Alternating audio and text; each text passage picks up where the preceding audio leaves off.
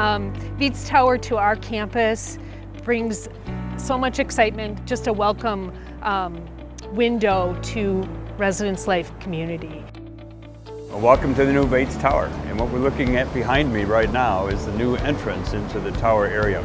You come from that entrance and work your way into the, the large gathering space, a place that's just uh, open for ideas and for people to think and, and dream and learn. We've added on to the uh, existing uh, RWJ Tower. There's going to be a new conference room for students and faculty to use. As we move this way, we're going to look into one of the new uh, education spaces. And these are going to be um, extremely high tech and they're really designed for MSOE students and our industry partners.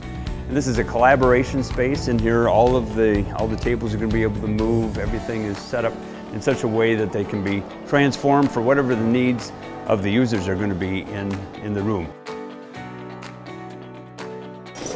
But the entrepreneurial space is going to be an area where uh, people can come and work on, work on teams. There's going to be a stage in here for presentations as well.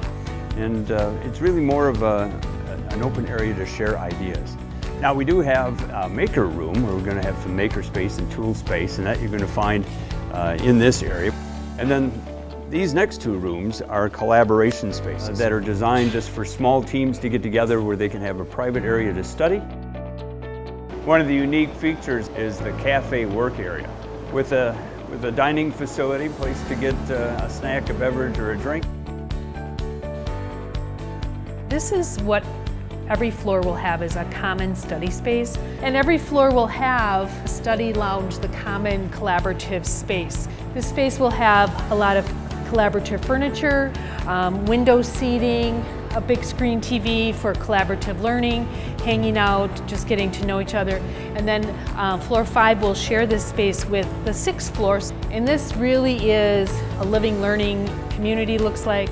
All of our rooms are double occupancy, so there will be two beds, two dressers, two wardrobes, um, two of everything. Every room does have its own air conditioning unit, which again is super exciting. The windows will have a window treatment. There will be blinds. The floors um, are laminate hardwood, I believe, um, and they're gorgeous.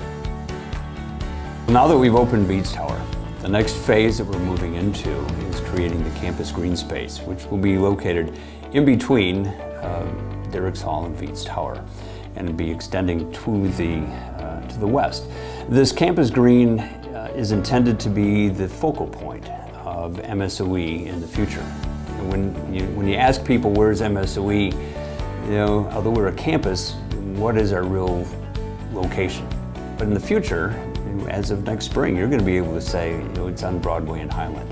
And when you get to Broadway and Highland, you're going to see this uh, lovely tiered green space uh, that is open for students, it's open for alumni, it's, it's going to be a gathering place, a study place, an entertainment space uh, with uh, some history and with a lot of new things for MSOE.